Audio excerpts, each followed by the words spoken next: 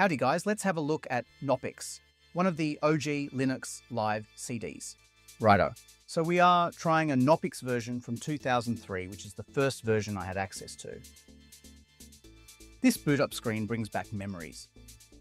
I wish distros would use Tux as a graphic more often. It's such a classic.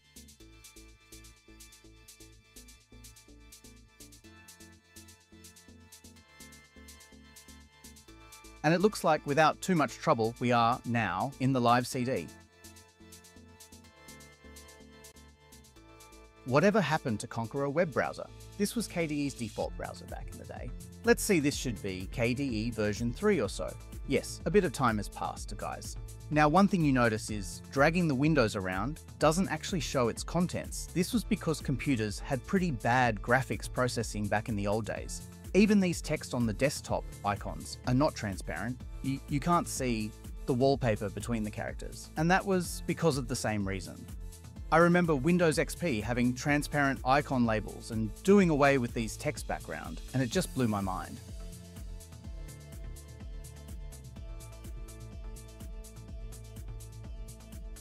So Konqueror was actually a file browser and web browser combo. There was no Dolphin back then, this probably looks very different to what you're used to with modern KDE.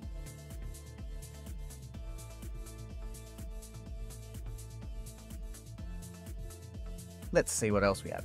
OpenOffice. And of course Mozilla back in the day before Firefox, or it was probably barely in version 1, so yes, Mozilla was what most distros came with.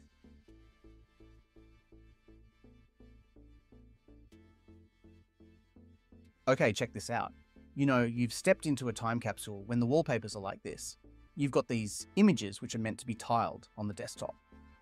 Full screen high res images were a bit of a luxury in 2003.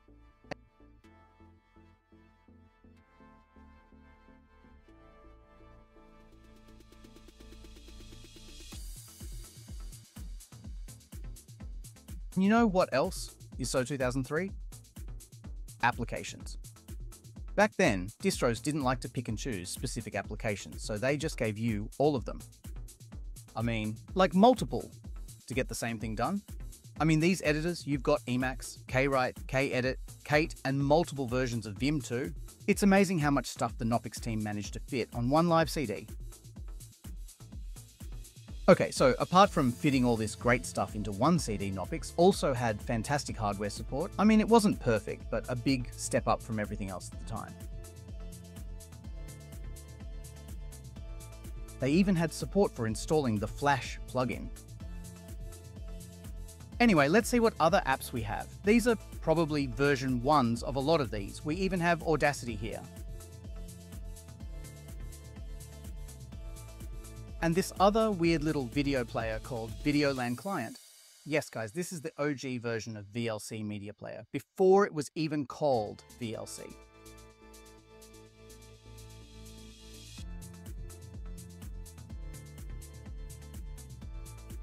The Audacity UI looks strangely similar to what it was just a few years ago. I mean, less buttons, but the same style as such.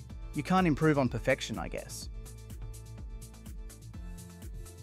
Okay guys, Knoppix is, in my opinion, one of the most important Linux distros. It just lowered the barrier to installation so much. Live CDs are now easily the best way to try before you buy Linux. I mean, sure, Windows and Mac have recovery versions, but to be able to try out your entire operating system, including a truckload of applications. Wow, take a bow Knoppix.